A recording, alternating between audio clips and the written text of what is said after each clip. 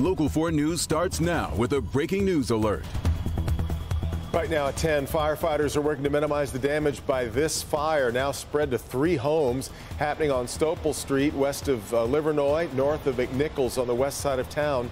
We're told the fire started at a vacant house, but then spread to each of the houses on each side. One is believed to be a complete loss at this hour. Firefighters still trying to get the other hand, upper hand. No word yet on the cause. We'll continue to follow that throughout the evening.